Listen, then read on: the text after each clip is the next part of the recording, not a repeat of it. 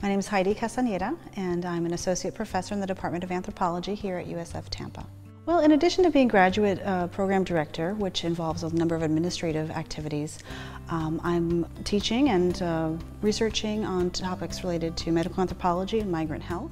I think there's a very interesting intersection between what happens in immigration policy and healthcare access. And so that's an area that I've really been, you know, very um, dedicated to researching further and seeing how these policies impact families and communities here in the United States, and I've also worked in Germany quite extensively, and um, currently I'm also working in Mexico.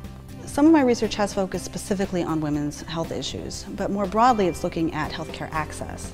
Um, this is something that particularly influences women's health because women's health uh, initiatives are often coupled with other um, initiatives in healthcare policy. So we see, for example, we've been seeing a decline in women's health reproductive services at the same time as we're seeing a shift into um, new forms of health care access in the United States. And so women's health is particularly impacted by the current intersection of healthcare policies. Well, so healthcare access affects everybody when people don't have access, then it, can overburden emergency rooms, for example. It can make entire you know, populations less, less able to work and raise their children and perform well in school. So I think it's important that we don't limit our focus in migrant health simply on the migrant person themselves, but look at the larger family setting, which often includes U.S. citizens and the communities in which they live, such as the one here in Tampa Bay. For many of the women in my studies, they're making healthcare decisions for the entire family.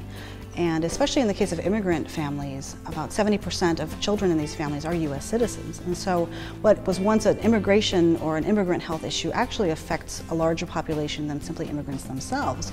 Because especially in mixed status families, you have U.S. citizen children who are impacted by health seeking behaviors or restrictions to health care access that the entire family experiences.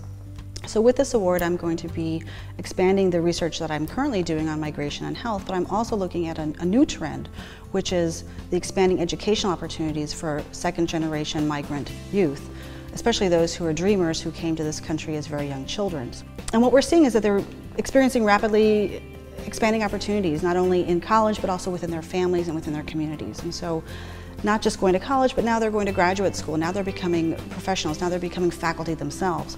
And so the impact on um, higher education is really the focus of the project that I'm going to be using the award funds for.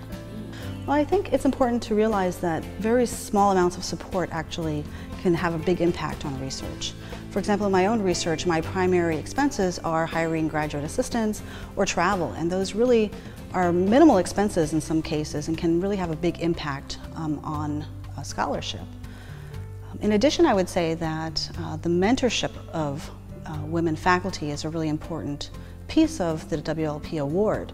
It allows us to create a cohort of women who are in the same stages of our careers and who can support each other on campus. And so there's the, the financial support, but I think also um, having um, mentorship opportunities with other faculty members and with peers in our same cohort.